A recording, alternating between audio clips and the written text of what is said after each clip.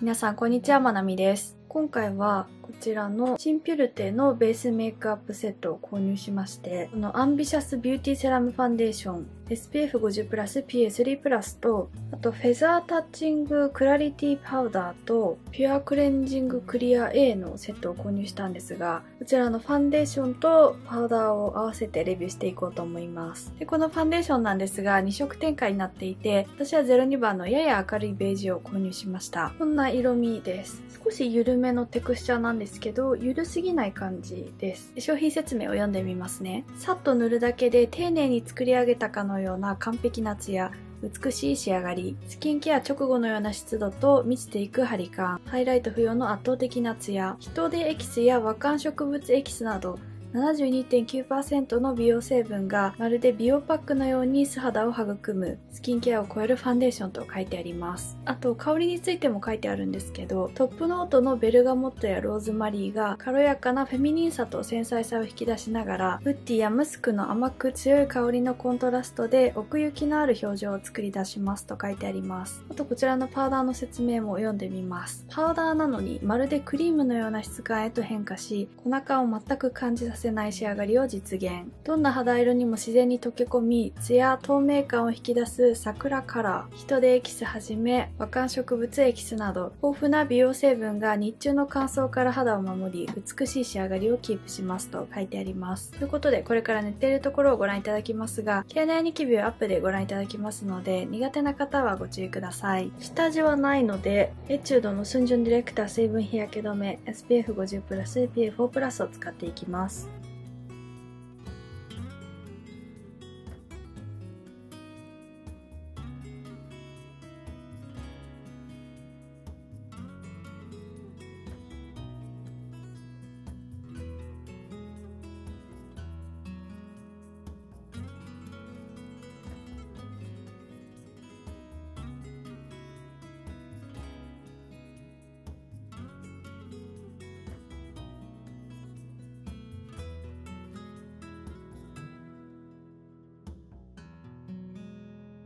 それではファンデーションを塗っていきます。いつも通り片側は資生堂の131番のファンデーションブラシと、もう片側はピカソのスパチュラプラススポンジで塗っていこうと思います。それでは、ブラシで塗っていきます。あとても伸びのいいファンデーションです。で、すごくみずみずしいんですけど、意外とカバー力ありますね。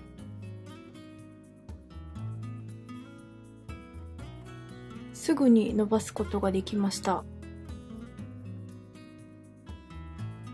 仕上がりはかなり綺麗です。みずみずしくてブラシの跡とかも残らないですしムラなく塗ることができます。これはかなりいいんじゃないでしょうか。とりあえず版画に塗ってみました。ップでお見せするとこのような感じです。おでこを比べてみると、この辺りの赤みとかは透けて見えているので、ハイカバレッジではないんですけど、ミディアムくらいはありそうです。おでこの黒ずみは隠れています。うっすらした赤みとかは薄くなっていて、あまり見えていないので、ナチュラルに肌を綺麗に見せてくれています。あと日焼け止めで結構ツヤは出ているんですが、このファンデーション自体もツヤ系のファンデーションなので、肌が保湿されていてツヤと見せてくれる効果もあります。。頬と鼻ですね。光を遮るとこんな感じです。この辺りのニキビとかの赤みは全然見えていますが、この辺りの赤みとかは結構カバーされています。使う前はかなりカバー力が低いと予想していたんですけど、この黒ずみとかも薄くなっていますし、意外とカバー力はあるなって思いました。スーッと濡れて毛穴落ちもなくて、ムラもないので、今のところ仕上がりはとても綺麗です。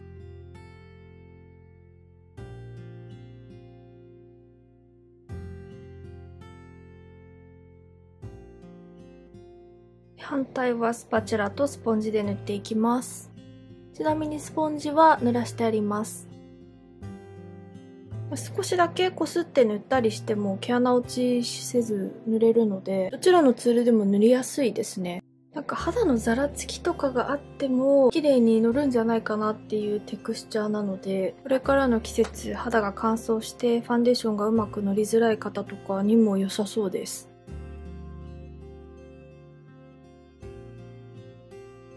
ここの赤みを隠してみます。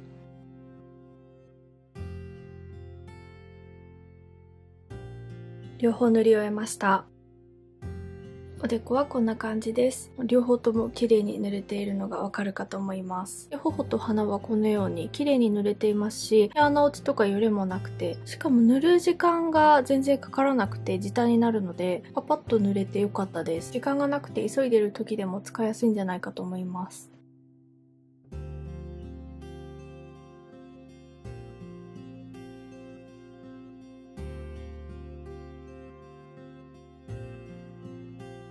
次はパウダーを使っていくんですが、片側だけに重ねてみようかと思います。見えなさそうかなと思うんですけど、ラメ入りのパウダーです。で、パフはこの分厚めのパフで起毛タイプなので、少しふわっとしています。それでは左側に重ねていきます。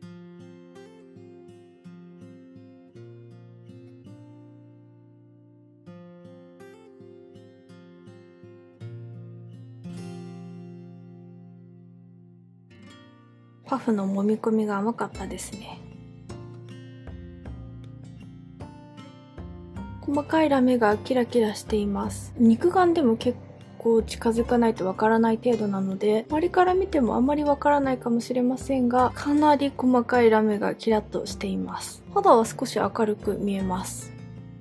なんか完璧陶器肌っていうよりは少しツヤを残してくれている感じで仕上がりがとても綺麗だと思います。左側だけにパウダーをのせてみました。このようにツヤ感が結構あったのがマットになっています。ただ触るとサラッとはしているんですけどすごくマットになるわけではないです。かなり粉が細かくてサラサラのパウダーってあるじゃないですか。ああいう感じではなくてまあサラッとでもしっとりしてる感じ。のパウダーなのでマットになりすぎないですね。光に反射して毛穴が見えているのが少し抑えられるので私の肌だとパウダーを塗った方が毛穴が目立たないです。パウダーを塗った後の肌も綺麗なのでこの仕上がりは私は好きです。で、あまりラメが入っているパウダーって毛穴が目立ってしまって好きではないんですけど、これはかなり細かくてそんなに目立たないので、全然私でも気にならないなっていう印象です。ということで今日も7時間検証していきます。こちらは3時間後の動画です。先日撮影していた時に3時間後の動画を撮影するのを忘れてしまったので別日に撮影しております。なので塗っている量とかが変わってしまったかもしれないんですけどご了承ください。おでこはこんな感じです。こちらは塗った直後とほぼ変わっていなくてツヤっと感がまだ綺麗ででこちらを触るとかなりしっとりはしているんですけどでもまだ見た目はマットで塗った直後と比べてもあまり変わっていません。頬と鼻はこのような感じです。鼻と頬も特に変化はなくて全然毛穴落ちはよりもないですしこちらはですねまだ触るとさらっとしっとりしていてここに関しては全然変わっていなくてあと鼻は少し皮脂は出てきていますがじんわり全体的に出ている感じでそんなにひどくはないかなと思います。3時間だとほぼ変わらないかなっていう印象です。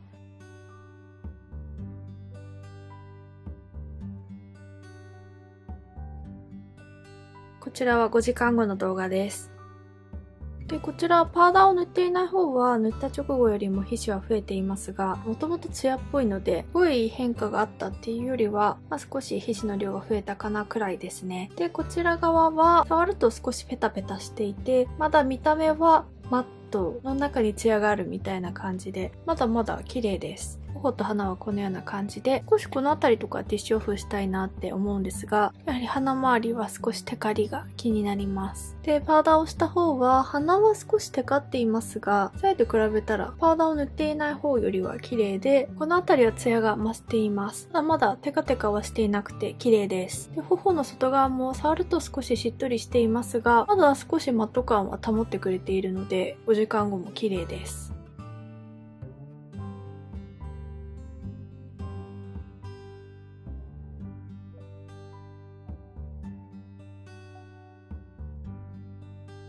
こちらは7時間後の動画です。デコはこんな感じで、5時間後と比較してもそんなに変わっていません。こちらもツヤ感は強いんですけど、テカテカにはなっていないですし、パウダーをしている方もペタペタしていますが、5時間後と同じで、まだ綺麗なツヤっていう感じです。で、頬と鼻はこのように、こちらはティッシュオフしたいかなっていう感じではありますが、ドロッドロにはなっていないです。鼻のテカり方はこんな感じで、まあ、この辺りとかは結構皮脂は出てきているんですが、この皮脂を押さえてしまえば、あとは綺麗なツヤって言えるんじゃないかと思います。とこの辺りもまだ触ってもしっとりしているくらいなので、汚く崩れたりもしていないですし、え毛穴落ちとかもないので、混合肌の私はこれからの季節に使うのにぴったりな商品だなと思いました。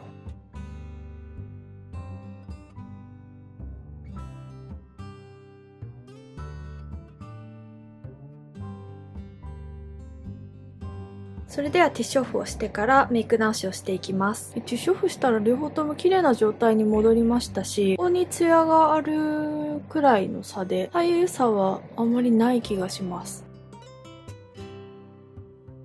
パウダーを乗せているので上からブラシでこすってしまうと少しザラつきは出ますがでも他のファンデーションほど汚く毛穴落ちしたりよれたりもしないので意外と縫い直しても綺麗です。こちらはスポンジで直していきます。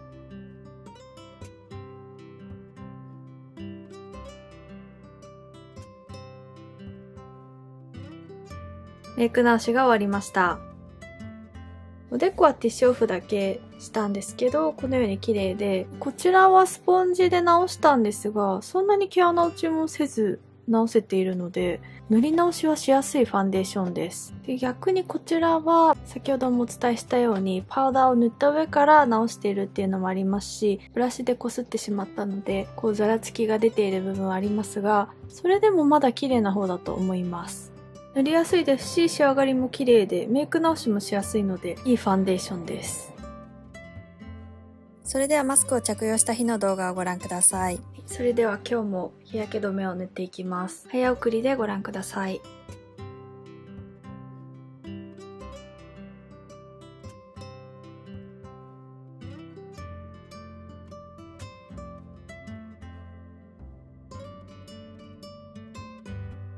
それではファンデーションを塗っていきます。今日は全顔ブラシで塗っていこうと思います。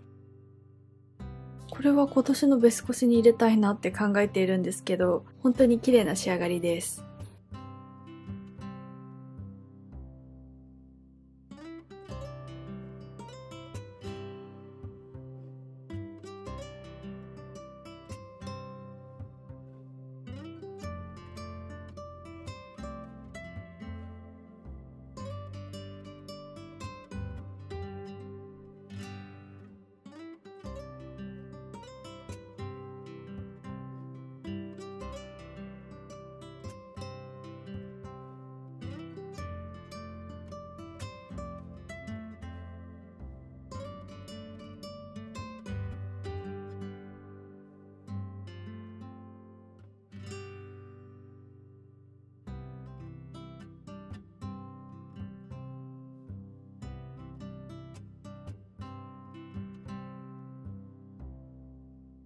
パウダーを全顔に重ねていきます。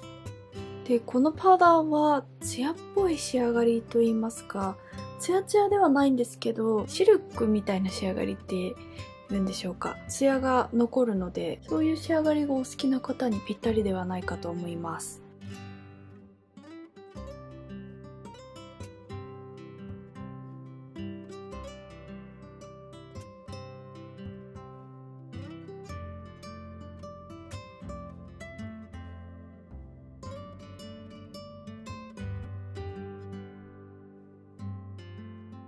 パウダーを塗り終えました。はい、おでこはこのような感じです。結構パウダーは重ねたんですけど、サラサラになっているというよりはしっとりしている感じで、まあ見た目も若干マットに、でもツヤが残る感じな仕上がりなので、マスクをした時の崩れ方はどうなんだろうって気になるんですけど、今日も4時間検証していこうと思います。やはりとても綺麗な仕上がりで毛穴落ちやムラなどは一切ないので塗っていて楽しいベースメイク商品です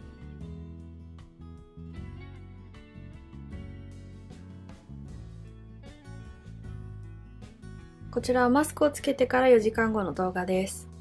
おでこはまださらっとツヤっとしていて、綺麗なツヤ感なので、全然崩れてはいないです。肝心の頬と鼻なんですが、マスクが一番強く当たる部分はこのようにファンデーションが落ちて毛穴落ちがあります。なので特にマスクの擦れに強いファンデーションっていうわけではなさそうです。で、やはり鼻周りは皮脂が出ていて、この辺りとかも光っているんですけど、まあ、そこまですごく汚く崩れているわけではないので、この辺りは綺麗な方かなと思います。全体的に触ってみるとしっとりしているので、冬でも乾燥してマスクと擦れて崩れてしまうっていうのは少ないファンデーションとパウダーなのかなと思います。で、マスクの中をお見せするとこのような感じです。4時間って考えるとファンデーションはついている方かなとは思いますが、この鼻のトップの部分と、あとこの辺りはファンデーションがついているのがわかります。あと下も顎の部分とかはついているのがわかるので、マスク写りも少ない方ではないです。このファンデーションの長所は、どのツールでも塗りやすくて、毛穴落ちやムラなく塗ることができます。さらにカバー力がある程度あるのに、仕上がりはナチュラルで重たくなくて、肌が疲れないのも気に入りました。短所というほどではなくて、これは人によると思いますが、匂いは強いかなって感じたので、香料が苦手な方には合わないかもしれません。パウダーはマットすぎず、塗った後でもツヤ感があるようなパウダーで、シルキーな仕上がりがとても綺麗です。短所は特にないかなと思いますが、他に毛穴をぼかしてくれたり、皮脂を吸着してくれたりするいいパウダーも多いので、そういったものの方が私の場合は使う頻度が高いかなとは思いましたね。でもこのファンデーションとパウダーの組み合わせはかなり気に入りました。パウダーをしていても、内側からツヤが透けるような仕上がりにしたい方にぴったりですし、これから寒くなってきて肌が乾燥してきても、その上から乗せやすいベースメイク商品だと思うので、ぜひお試しいただけたらなと思います。おすすめです。ということで、ここまでご覧くださりありがとうございました。ぜひチャンネル登録と高評価をお願いいたします。それではまた次の動画でお会いしましょう。バイバイ。